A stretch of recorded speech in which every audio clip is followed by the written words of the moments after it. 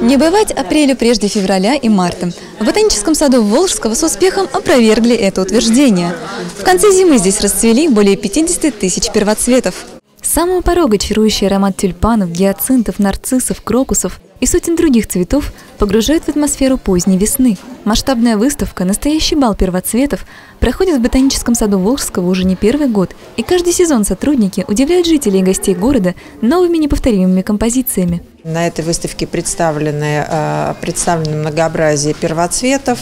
Э, конечно же, акцент сделан на декоративной культуры, но, тем не менее, можно увидеть и э, более редкие, которые в том числе произрастают в природе. Это мероприятие имеет и большую экологическую направленность. Экологический смысл выставки еще и в том, чтобы полюбоваться живыми, а не срезанными цветами, запечатлеть их красоту на фото.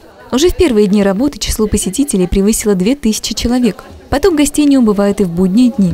Оранжереи превратились в настоящий таинственный сад, в котором растут как привычные растения, так и уникальные сорта. Увеличилась площадь у нас теплиц, то есть если у нас в том году была она одна тепличка экспедиционная, в этом году мы сделали две то есть чтобы максимально большое количество людей нас посетило и было более-менее комфортно перемещаться, как бы, да, наслаждаться и увидеть всю красоту, разнообразие большое, от простых до самых непростых. Махровые у нас представлены тюльпаны, бахромчатых еще называют, которые в огороде обычно сложно вырастить, то есть это очень эксклюзивный цветок. Многие жители Волгограда и Волжского приходят в ботанический сад каждый сезон, и выставка первоцветов стала для горожан уже доброй традицией. Хрупкая и яркая красота непохожих друг на друга цветов не оставляет равнодушными ни детей, ни взрослых. Ежегодно приезжаем на данное мероприятие в ботаническом саду. Прекрасные первоцветы. А, также бывают и осенью хризантемы.